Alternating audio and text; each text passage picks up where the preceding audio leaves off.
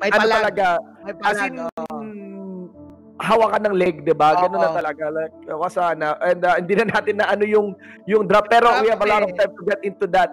Let's see here what will be the adjustment. You need to adjust. You have a game one to base your performance from against the enemy team. Hindi mo nilalaban ang isang game. Ang nilalaban mo ay yung series. So there's Yes. a chance here for breakpoint pa. Hindi pa naman tapos, hindi pa naman tapos. If ever matalo ang breakpoint, eh pwedeng bumaba or even even matalo ang ah, NXP solid ay pwede silang bumaba sa lower bracket. Pero men, ang ganda ng point mo kanina eh, parang feeling ko ge- feeling ko din ganun eh. Parang pag ito inisi aggressive na naman ng NXP solid. Yeah. Ma- I'm not doubting the strength of uh, the first two uh, teams, 'di ba? I highly respect Mm. them.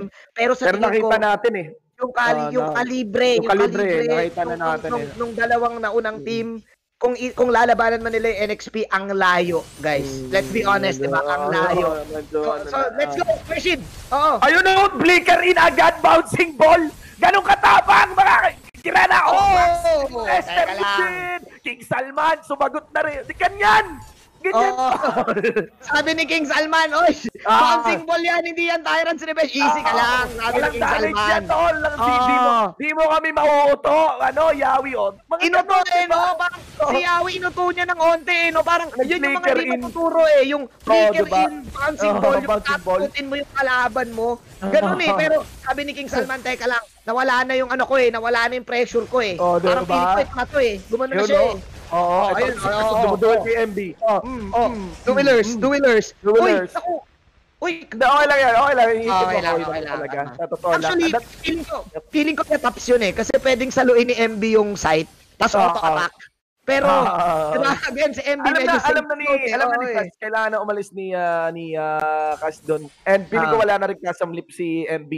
Pero maganda, maganda yung, ganito eh. Ay, ito po yung sinasabi naming unang segundo pa lang. Alam mo, makikita mo na Dunto ka kagad. na. Oo, Hindi natin masasabing na. panalo, pero makikita mo yung attitude ng players, di ba? Yung Ma- may, pulso, may pulso, no? oh, yung Oo. willingness nila, di ba? 4K, oh, pa 2 minute mark na tayo, wala pang 2K gold lead yung NXP solid kanina, di ba? Nag 2K Yes. gold lead.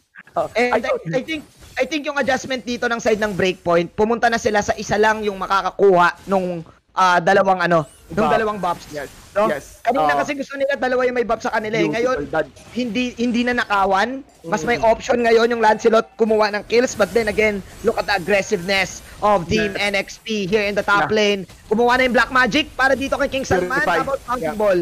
Yeah. Mm, That's beautifully executed dito. Isa pang hit mula kay H2O gets the finisher there. Not gonna be enough to also get an answer na 1-4-1. Naging 2-4-1 yung naging palitan natin dito on uh, overall score. Third trade though is completed by breakpoint. At Yun yung value sinasabi trade. natin. Value trade, value trade. tol. Oh. Gold lead is not so much dun sa NXP solid pa rin, no? Oo. Ang magandang value trade para kay na Dre Schofield doon sa bottom side. Again, matatakot na si paring MB dyan kasi nga si Dre Schofield ay meron ng dalawang buffs and he can go for the aggressiveness as Mm. well. So Mhm. ngayon, breakpoint. Ang next setup dito Kuya Shinbu is the turtle. Mind you, wala pang nabasag sa breakpoint. So yung endpoints ng NXP solid naka-block pa, 'di ba? Yeah. Actually, na-realize ko lang ang ganda ng lineup ng breakpoint talaga ngayon. Kumpara kanina na Gatot Kacha. Ang ganda nga nung Lilia eh, for the Hari. Oo nga eh. Diba? Oo nga eh. Sa, sa Ah, totoo lang. Lalo yung na nag-group no? sila. Oo. Oo. And uh, grabe rin man pressure yung Lancelot dito. It does, it does look like walang heavy counter for the Lancelot. And yeah, Turtle, ladies and gentlemen, security Oo. members ng breakpoint. Tatalon si Yawi. Tatalon si Yawi sa Gedli. Sinay ko! Akala natin si Yawi doon. Beautiful! Pero, sina mind games! Biglang. Yawi. Oo, pati yung cameraman natin nalito eh. Nalito Akala eh. doon eh, pero pala sa baba. Ang What? galing. Mga kaibigan, Yawi there. Of course, with his own swag as well, delivering for this Cupra. Eto yung tol, yung mainit. Net mai. Diba? Net, mainit, mai. Men, Oo. nakita mo yun? Parang, kumbaga sa basketball, yung akala mo ililay up na, may pagbali pala. Ganun yung Oo. ginawa ni paring Yawi. And man, Oo. yun talaga, yun, yung mga ganong klaseng maliliit na bagay, yung uh, I think, pumapasok dun sa pinag-uusapan natin kanina na Oo, etong yeah. MPL na to. Ganito yun eh. Oo Init. eh. Init. Oh, diba? Kaya Oh, talaga mo, may- oh, camera Oo, eh. Oh, Oo diba? nga eh, Mas sa camera, nagpapogi pa eh. Oo Oo, eh. and dami naming camera nilagay dyan sa ano, Celestial Palace. Oo, maraming camera dyan sa lahat ng characters ang- nyo pwedeng Ah. Then eto ha, nakakakita tayo ngayon ng mirroring ng dalawang teams. Gusto ng NXP Solid magdikta ng laban sa baba. Gusto naman ng breakpoint magdikta. Oh! Sinubukan nilang Masyadong iligtas yung Tore. talaga. Sinubukan nilang iligtas yung Tore. What? Yap, yap, yap. To push back, mga kaibigan. Ah, ba't ka napawat? Ano yun? Yung ganong decision, men. Ah, Gusto mong ah, ligtas yung Tore. Ah, ah, Ang ah, ah. lupit, ang lupit. Tulak sa Millionaire, wala Oo. kay Awi. Mm. Pero Actually, kung- com- commendable yun para sa akin kaya ako napawat. Kasi again, Ah. ayaw mong ibigay yung Tori. eh. Oh, Ganun pero eh. walang flicker si Yawi ngayon ha. They no Mm. need to worry, uh, worry about the flicker of Yawi. Oh, it, oh, face check. Ah, ah, Mm, sige, Santi Sucre. Santi Dog, Ah. tol. Aha, aha, aha, aha. Ah, Traps, trapisoid. Trapisoid, trapisoid lang. Traps lang. Trap City. Trap City. Trap Yeah, City. si- Men, eto na oh, eh, dito na nagaganap yung sino kani sino ba magre-react Mm. at sino yung magka-counter-react. Parang ganun eh. Eh, tignan natin, papasok sa J. Tom mula sa Nakuha din po, ah. J. Uh, J. Schofield, Shin, oh, Naku, F, Jay Schofield, pero pumasok na dito para kay H2 mag-isa lamang si Dre Schofield. Wala yata siyang Thorn Rose. Dinig kita ni Yawi. Yung ibang kasama ni Dre Schofield, Schofield dito na check na. After that jump, went for the ultimate. At syempre, NXP Solid will be taking in this turtle. Oh, pla- hindi lang turtle pare, pati yung purple. Yeah, oh, pero hindi ko Man. mabiblame yung breakpoint doon. Para sa akin, okay, sa akin, yeah, they, they clearly lost that one. But still, I, I think, alam mo yon they played it with the right attitude pa rin. As in, kaysa naman pinamigay lang, di ba? Basta-basta. Ah. Kaso, feeling ko, ang pwede sana ma-improve ng breakpoint doon, i-enable si Dre Schofield, no? Yung entry niya. To Oo. find ways for the Lancelot to really enter properly and make it out. Kasi parang hiwa-hiwalay pa rin sila doon for a bit, no? Instant replay tayo mula sa Gillette. Makikita mo, separate points dito. Ang, ang nangyaring trade kasi dito pare is I, I think mas lamang sa NXP Solid. Bakit? Kasi apat yung nakuha nilang hero. Tapos may isang turtle. Plus, tingnan mo si Rene, si yung ah, yung Hellcurt, si Rene Oo. J. Pero bago ko sinasabi yan ha, may, may laban dito sa bandang gitna. H2O, siya na lang mag-isa pero may shield. Buhay Yup. pa din, kabisado yung range. Yup, yup, yup. Yung Look at that. Force. Mga Wow. kaibigan, along with Yawi as well. Lumonlay na dito ang NXP Solid, mga tol. Goes for MB, take up some turret hit. Pasok si Cass. There's the kill on to Yawi. And of course, King Judge dito. Mambout ulit torchback, pero H2O, siya na bahala dito. Goes for the chase down. Was able to get, get another kill. Getting the trade Ah. of the 4-4-1 in favor of NXP Solid. Going back to my point, no, kung nakita yung minimap kanina, Rene Nako, J was aiming, Rene J was aiming the purple buff na agad. So, ang Yeah. dami nilang trade na nakuha. Meanwhile, power lang yung nakuha ng breakpoint that Ganda time. So, I think, nung laban na yun sa Turtle, nagkaroon ng onting misdecision sa breakpoint kung lalaban ba sa Turtle or not. And yung ikaw na nga nagsabi, mas pinili nilang lumaban. And unfortunately, na-outplay sila. Now, oh yes, totoo, totoo. Ah, ah, it is an outplay there. Pero ah, ah, sa akin okay lang. As in, it is Oo. an outplay of not because, alam mo yun, hinahayaan yung i-outplay kayo. Kundi talagang Kasi gumagawa rin, kasi, gumagawa rin naman kayo ng play, no? So, ah, I think way better talaga compared to this game number one. Pero ito, gusto ko lang i-describe yung nangyayari sa NXP Solid. Umiinit si H2O, tol, no? Pag, May ano, eh. pag yung kalaban parang pinapalagan siya, mas lalong umiinit. Yun- parang, parang, parang ano, parang si sayan. H2O. Pag uminit si H2O, pwede mo nalagyan ng kape eh.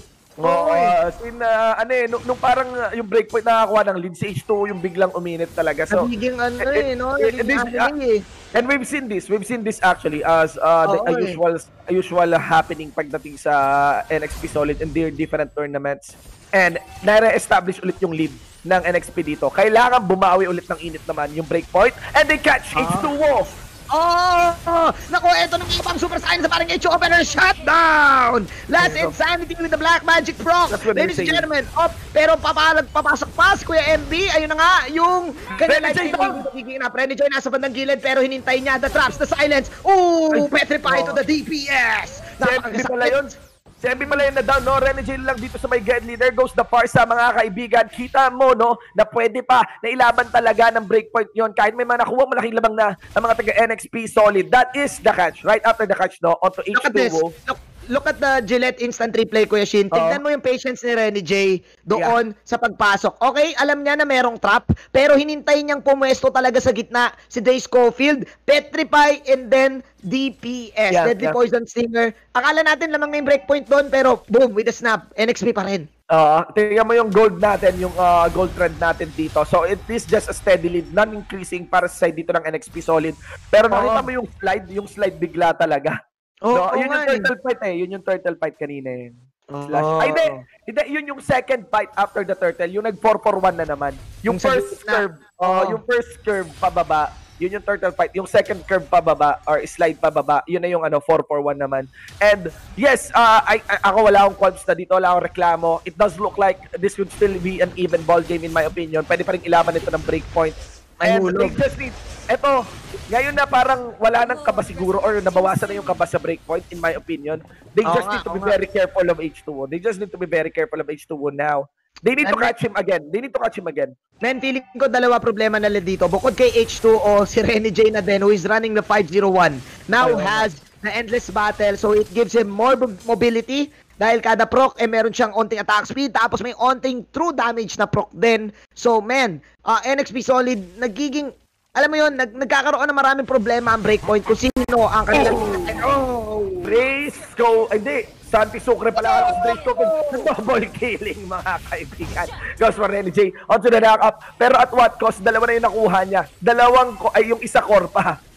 This is how confident Rene J is. This kid, men, kung bibigyan, kung, kung, mag, kung magkakaroon ka ng explosive player sa ML, feeling ko si Rene J eh. Uh, yeah.